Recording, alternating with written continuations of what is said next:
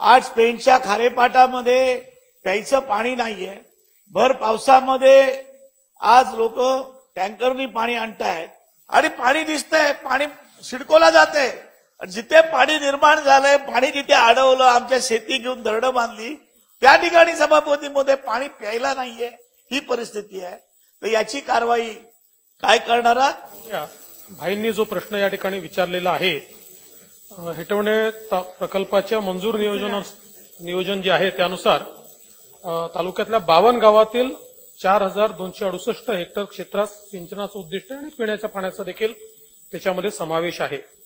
आता यापैकी अकराशे एकोणसाठ हेक्टर सिंचन क्षमता निर्माण झाली आहे आणि उर्वरित कामं सगळं पीडीएननी करायचा आपण निर्णय घेतलेला आहे. आता याच्या उर्वरित कामाकरता आपल्याला जे काही त्याच्यातले बदल झाले त्यामुळे त्याची फेर प्रशासकीय मान्यता घेण्याची आवश्यकता आहे. आणि त्याकरता सहाशे सातशे सहासष्ट कोटी ची चा प्रकल्प तयार झालेला आहे. तो फेर प्रशासकीय मान्यतेकरता आता पुटअप झालेला आहे. जी काय आपली एस एल टी सी वगैरे सगळी जी प्रोसेस आहे हा हो शेतीसाठी. तर ती सगळी जी हा ती जी सगळी प्रोसेस आहे ती प्रोसेस आता आपण पूर्ण करतो आहोत. आणि ती प्रोसेस पूर्ण करून साधारणपणे एक महिन्याच्या आत आम्ही आता ती फाईल फायनान्स आणि प्लॅनिंगकडे गेलेली आहे. एक महिन्याच्या आत आम्ही याला फेर प्रशासकीय मान्यता देऊ. आपल्याला सर्व माहिती आहे आणि माझी तातडीने तुमच्याला विनंती आहे वाशी गावातल्या शेतकरी जे बसलेले आहेत महिला त्याच्यामध्ये हजारो आहेत. आपण गेले आहेत सभापती मोदी तिथे वाशीमध्ये. त्यामुळे त्या ठिकाणचं उपोषण तातडीने सुटलं पाहिजे. सभापती महोदया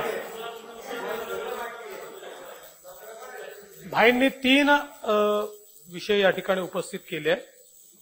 त्यातलं खारेपाटच्या ठिकाणी जे लोक आता उपोषणाला बसलेले आहेत वाशीला तर माझी आपल्यालाही विनंती आहे की मी सभागृहात आश्वासन दिलेलं आहे की त्याची जी काही फेर प्रशासकीय मान्यता आहे ती एका महिन्याच्या आत आम्ही देऊ त्यामुळे आम्ही तिथे अधिकारी सगळे जे काही आहेत जिल्हाधिकारी वगैरे त्यांना सांगतो पाठवतो आपणही त्यांना निरोप द्या आणि त्यांना ते उपोषण परत घ्यायला सांगा.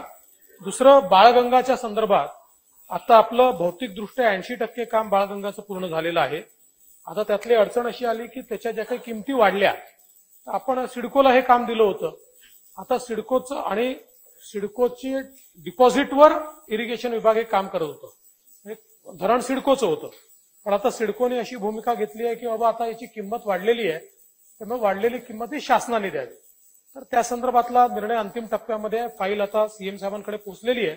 आणि सीएम साहेब त्याच्या संदर्भातला निर्णय देणार आहेत. सीएम साहेब जर सिडकोने द्यावं म्हणतील तर सिडको देईल. शासनाने द्यावं म्हटलं तर शासनाकडनं आम्ही बजेटमधनं घेऊन इरिगेशन विभाग तो पैसा खर्च करेल.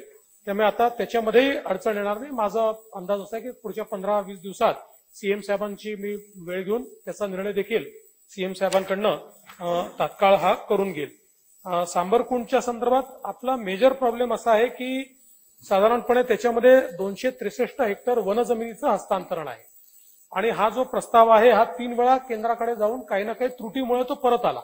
पण आता परिपूर्ण प्रस्ताव जो आहे हा आपण केंद्र सरकारकडे पाठवला मी स्वतः देखील त्याची माहिती घेतली आहे. आणि आता केंद्र सरकारने आपल्याला असं आश्वासन दिलं आहे की फेब्रुवारीच्या शेवटपर्यंत आम्ही याला मान्यता देतो. त्यामुळे याच्यातला सांबरकुंडमध्ये तर मेजर तेवढाच एक हरडल आहे की एकदा जर ही परमिशन मिळाली तर आपल्याला पुढची कारवाई करता येईल. त्यामुळे हे तिन्ही प्रश्न जे आपण मांडलेले आहेत हे शासन त्याच्यावर जी काही जी नाही असं भाई त्याच्यामध्ये जी काही वाजवी मोबदला आहे म्हणजे वाढीव जर मंजूर झाला असेल तर वाढीव. आता माझ्या जो वाढीव किमती संदर्भातली माहिती नाही आहे पण त्याची माहिती मी करून घेईल. जे काही आवश्यक असेल ते आपण नियमानुसार करू काय अडचण जवळपास कोकणातील बहुतांशी प्रकल्प हे अर्धवट अवस्थेत आहे. आणि विशेष करून त्याच्यामुळे कोकणातील शेतकऱ्यांवर कळत न कळत अन्याय झालेला आपल्याला पाहायला मिळतोय. निश्चित तशा प्रकारची तटकरे साहेब चतुर्थ मान्यता देण्यात येईल. आपण ज्याप्रमाणे सांगितलं अप्पर मुख्य सचिवांना सांगून त्यांची बैठक एक अप्पर मुख्य सचिवांसोबत देखील घेण्यात येईल. आपण जो दुसरा प्रकल्प सांगितला की जलसंधारणाच्या ऐवजी तो जलसंपदाने करावा तपासून पाहू.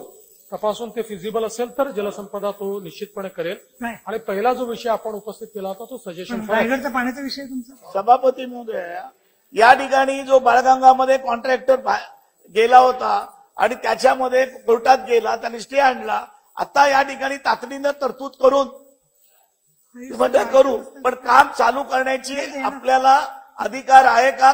माझ्या जवळ जी माहिती आहे त्यानुसार काम आपल्याला करता येईल. तथापि आपण सांगितलं तर मी पुन्हा एकदा माहिती घेतो. हा माझा स्पेसिफिक विषय होता का जो पाणी आपण देतो आहे ते शुद्ध पाणी भेटायला पाहिजे. त्याच्या मोबदला भेटल्यानंतर त्याच्यावर अतिक्रम करून जर सेंडाचं पाणी जर नंदुरबार वासींना पाहत असेल हा कितीपत योग्य आहे?